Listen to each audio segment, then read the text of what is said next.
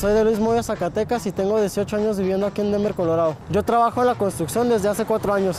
Órale, sí se ve que se bajó del andamio y se vino. Ay, Está bien. A mí me gusta mi trabajo porque este, me la paso afuera entre las máquinas y así me puedo poner a cantar lo más fuerte que yo quiera y nadie me oye. ¿Y qué onda con usted de la cantada? Pues me dijeron que tenía voz fuerte. Dijeron, pues cálate. Pues sí, ya, pues, ¿qué te dale, digo? dale del camote. Y los camotes tienen voz fuerte y no anda aquí.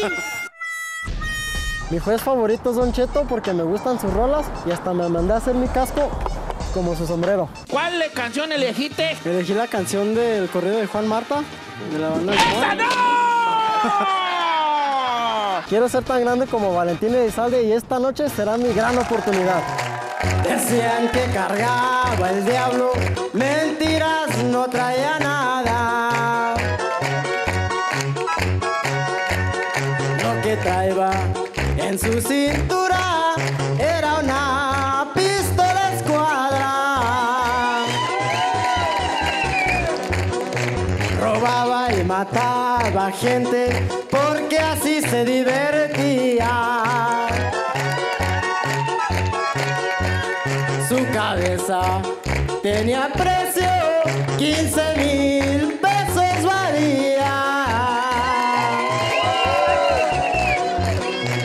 Juan Marta era aguerrido y temido del gobierno.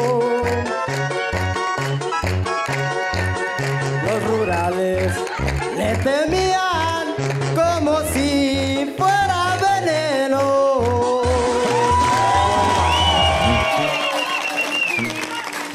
No nos dejó poner atención este señor. Estaba tocando la tuba yo a tu ver, pues. Así se toca. Si suena como tuba. no le des alas a los Ay, Un alacranes. tubazo, un tubazo.